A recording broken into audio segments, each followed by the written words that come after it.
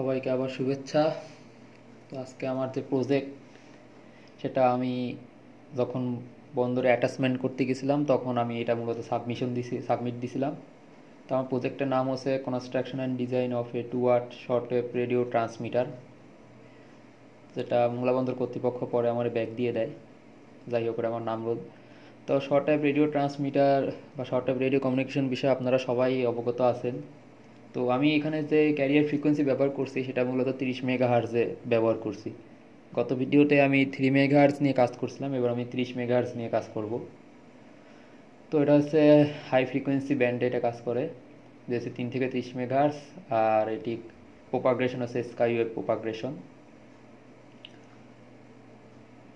তো এখানে স্কাই প্রোপাগ্রেশন তো আপনারা সবাই জানেন। তো কম্পোনেন্টস নিডস এখানে তৎকালীন সময়ে দু হাজার তেইশে জানুয়ারির দিকে আমি ওখান থেকে ডিজাইন হই। তো এই তখন এই দামে মূলত প্রত্যেকটি কম্পোনেন্ট ছিল। এটা হচ্ছে মূলত এস্টিমেটিং তা আমি আপনাদেরকে একটু স্লো করে দেখাচ্ছি। প্রত্যেকটা পার্টস আমি লোকাল মার্কেট থেকে আনি। এক পিস এক পিস করেই বাস যেটাতেই কয় পিস লাগে আর কি, সেভাবে এস্টিমেট করে আনা হয়। টাংস্টেন বাল্বটা আমি একটি দোকান থেকে ম্যানেজ করছিলাম। এই যে ক্রিস্টাল অসিলেটর তিরিশ মেগাহার্স এটা হচ্ছে আমার ক্যারিয়ার ফ্রিকোয়েন্সির জন্যই কাজে লাগবে।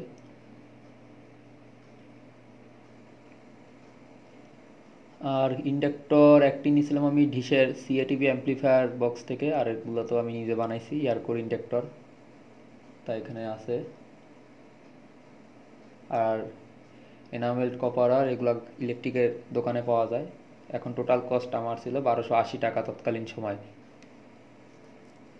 তো construction of DC power supply DC power supply যে বেসিক কিছু কিছু হিসাব আমি আমার ডকুমেন্টেশনে অ্যাড করে দিয়েছিলাম peak to peak voltage load current smoothing ক্যাপাসিটরের মান আউটপুট ভোল্টেজ তারপরে জিনার ডায়োডের ভোল্টেজ ইত্যাদি ইত্যাদি হিসাব আছে এখানে। আমি একটা একটা করে মার্কিং করে করে দেখাচ্ছি। আর কনজিউমড পাওয়ার কত সেটা মেজর করছিলাম। তো এটা হচ্ছে আমার সার্কিট এখানে যে diode bridge full wave bridge rectifier কনফিগারেশনে করা আছে। আর ডায়োডগুলো হচ্ছে five four zero eight three ampere capacity বিশিষ্ট ডায়োড আর সাতচল্লিশশো ইউএফ হচ্ছে আমার স্মুথ ক্যাপাসিটার ওই যে সাতচল্লিশশো ইউএফ আমার মান আসছিল। স্মুথ ক্যাপাসিটারের মান। আর এখানে আমি ভোল্টেজ স্টেবিলাইজারের জন্য আমি জিনার ডাট ব্যবহার করছি। জিনার ডাটে ভোল্টেজ স্টেবিলাইজড হয়েছে ঠিক আছে, কিন্তু কারেন্ট হিসেবে অতি নগণ্য আসে। তাই আমার কারেন্টের মান ভ্যালু যেন কনস্ট্যান্ট থাকে সেই জন্য আমি থ্রি জিরো ফাইভ ফাইভ ট্রানজিস্টারের মাধ্যমে কারেন্টটাকে কনস্ট্যান্ট রেখেছি। আর লাস্টে এটি টেন এন এফ এটি ফিল্টার ক্যাপাসিটার তো এখানে এসে circuit diagram circuit diagram of short wave transmitter circuit তো এখানে যে ক্যারিয়ার ফ্রিকোয়েন্সি জেনারেটরের সেকশনে যেটা আছে, সেটা হচ্ছে ক্রিস্টাল অসিলেটর এটা ট্রানজিস্টরের বেস মিটার কনফিগারে কানেকশন দেওয়া আছে। আর উপরে যে ইটা আছে, যে এটি এয়ারকোর ইন্ডাক্টর আর দুটি ক্যাপাসিটর প্যারালালে আছে, এই দুটি মূলত রেজোনেন্স সার্কিট হিসাবে কাজ করতেছে। যেটা অনেকটা বাইপাস যেটা একটা ব্যান্ড পাস ফিল্টারের মতো কাজ করে। আর ইমিটার থেকে নয়েজ বাইপাস করার জন্য তিনশো তিরিশ পিএফ একটি ক্যাপাসিটার সংযোগ করেছি। এবার হচ্ছে মডুলেশন স্টেজে আসি। মডুলেশন স্টেজে আমি যে কনফিগার করছি, সেটা হচ্ছে ফেট মডুলেশন এটা অ্যাম্পলিসিড মডুলেশনের মধ্যেই। যেমন আমার ফেটটা আমি সেলফ বায়াসে রাখছি, যাতে জানি ইয়ারফোন থেকে এই অক্স কেবল থেকে যে সাউন্ডটা আসবে, সেটা সামান্য ভোল্টেজ পরিবর্তন হলে ফেটে একটি বড় ধরনের পরিবর্তন হয়। কারণ ফেট হচ্ছে ভোল্টেজ অপারেটেড ডিভাইস আর এই যে ইনহ্যান্স মসফেট এটা হচ্ছে IRF Z four four N আর বিডি ওয়ান থ্রি ফাইভ হচ্ছে একটি মিডিয়াম পাওয়ার ট্রানজিস্টর আর ওখানে যে ইন্ডাক্টরটি আছে এইসের চোখ কয়েল টেন মাইক্রো হেনরি। এরপরে আমার যে লাস্টের যে এটা আছে আইআরএফ ছয়শো দশ, এটা পঞ্চাশ মেগাহার্স পর্যন্ত সিগন্যালকে অ্যাম্পলিফাই করতে পারে। এটা আমি ক্লাস এ কনফিগারেশনে অর্থাৎ বেস বায়াসে কনফিগার করে রাখছি। এটি মোটামুটি শক্তিশালী একটি ফেট এটি আটশো বিশ micro henry ferrite rod inductor design করা হয়েছে। আর আউটপুট আছে অ্যান্টেনা কাপলার বা ফিল্টার সার্কিট দুটি অ্যাটাচ করা আছে। একশো পিএফ আর যে ইন্ডাক্টরটা আছে, সেটা হচ্ছে সিরিজ নেজোরাল রেজোনেন্স সংগঠিত করতেছে। আর তিরিশ পিএফ হচ্ছে প্যারালাল ক্যাপাসিট্যান্সের মাধ্যমে যে তিরিশ মেগার্স আছে, সেটার মাধ্যমে এটি দেখানো হয়েছে। এখন আছে ইসেন্সিয়াল ক্যালকুলেশন রেডিও ওয়েভের ক্ষেত্রে কী আসতেছে। তো ক্যারিয়ার ফ্রিকোয়েন্সি জেনারেটরের ক্ষেত্রে আমার টু এন টু টু ট্রানজিস্টারের বাইসিং ভোল্টেজ অর্থাৎ এটা যে কনফিগারেশন আছে, সেই কনফিগারেশন অনুযায়ী two point four seven volt আমার বায়াসে দিতে হবে। কাট অফ ফ্রিকোয়েন্সি কত সেটা হচ্ছে এখানেই দেখানো হচ্ছে যে আমি যখন ব্যান্ড পাস ফিল্টার ডিজাইন করছিলাম, সেখানে এই ন্যানো হ্যান্ডে আর হচ্ছে আটষট্টি পিএ অর্থাৎ মোটামুটি তিরিশ megahertz R X L equal to X C আর রেজোনেন্সের ক্ষেত্রে যে মানটা আছে সেটা সেই। তা প্র্যাকটিক্যালি দিক থেকে যেটা করতে হয়, সেটা হচ্ছে দেড়শো হোমের নিচে রেজোনেন্সের মান থাকলে খুব ভালো হয়। দেড়শোর উপরে গেলে সেটা আনস্টেবল হয়ে যায়। সেই কারণে আমি দেড়শোর নিচে, অর্থাৎ আট, আটাত্তর পয়েন্ট জিরো নাইন ফোর ওহমে রাখছি। তবে টার্গেট রাখতে হবে, একশোর নিচে রাখতেই হবে। দেড়শো পর্যন্ত কাজ চালানো যায় কিন্তু একশোর নিচে মাস্ট রাখতে হবে। নাহলে ক্যারিয়ার ফ্রিকোয়েন্সি ক্ষেত্রে অনেক বিঘ্ন সৃষ্টি হবে আর ঠিকমতো কাজ করবে না। আর ইমিটার বাইপাস ক্যাপাসিটারের ক্ষেত্রে আমি হিসাব করলাম, হিসাব করে টোরে দেখলাম যে তিনশো উনিশ পিএফ অর্থাৎ তিনশো উনিশ পিএফের বেশি আমার ক্যাপাসিটার মান দিতে হবে। তিনশো উনিশের কম দিলে তখন আমার এটা ফিল্টারটা ভালোভাবে কাজ করবে না।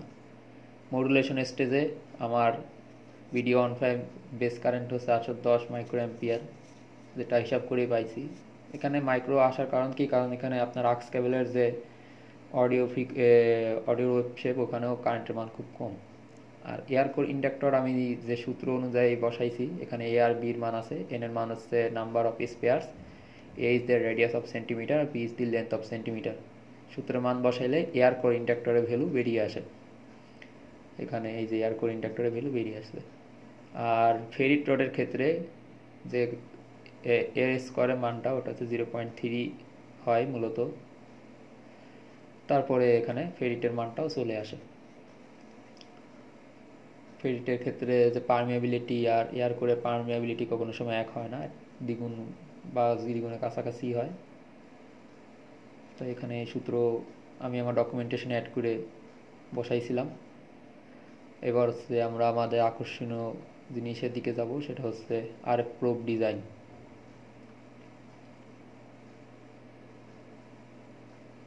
ঠিক আছে, ইন্ডাক্টরের কাজ শেষ। তাও একটু দেখে নেন, কোনো ই আছে কিনা ফল্ট আছে কিনা, যেভাবে ক্যালকুলেশন করা হয়েছিল। তো অ্যান্টিনা আরেক প্রবের ক্ষেত্রে আমার তরঙ্গ দৈর্ঘ্য জানা খুবই জরুরি, যেহেতু তিরিশ মেগাহার্জের তরঙ্গ দৈর্ঘ্য আসে দশ মিটার। আর আমার ডায়পোল অ্যান্টিনার এলিমেন্ট বা বাহুর দৈর্ঘ্য হবে ল্যামডা বাই ফোর অর্থাৎ টু পয়েন্ট ফাইভ মিটার তাহলে আমার ডায়াপোল অ্যান্টিনা ডিজাইন তো আমরা সবাই জানি, এটা নতুন কিছু না। তাহলে টু পয়েন্ট ফাইভ মিটারে দুটা বাহু দিলেই হয়ে যাচ্ছে। আর আর এফ প্রোবের ডায়াগ্রাম আমি এবার অ্যাটাচ করে দিছি, ওই সময় অ্যাটাচ করে দিয়েছিলাম এই আছে আর এফ প্রোবের ডায়াগ্রাম আর এটা হচ্ছে আমার অ্যান্টিনার ডায়াগ্রাম এখন এটা আমরা একটু টেস্ট করে দেখি। তো আমি এখানে যেটা করতেছি, আমার ট্রান্সফর্মার অনেক নয়েজ আসে। ট্রানজিস্টর ফিল্টার কারণে এটা অনেকটা এড়িয়ে যায়। দেখুন আমার সার্কিট কীভাবে আছে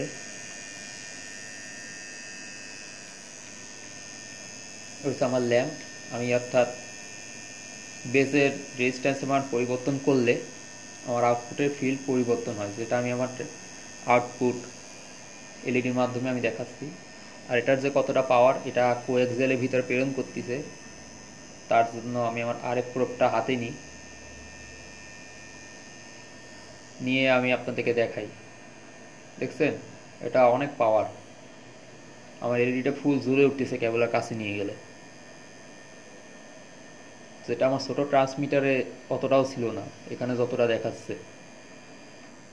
এখন একটু আমরা দেখি।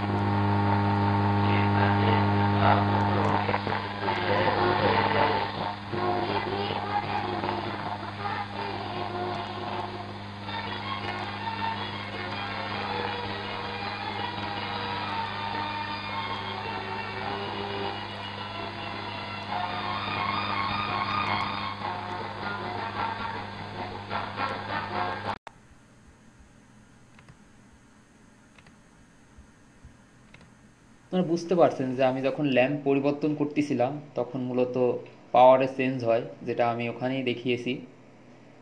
কিছু ছবি অ্যাটাচ করছি, যেটা আপনারা দেখতেই পারতেছেন। তো আমার ভিডিও আজকে এই পর্যন্তই।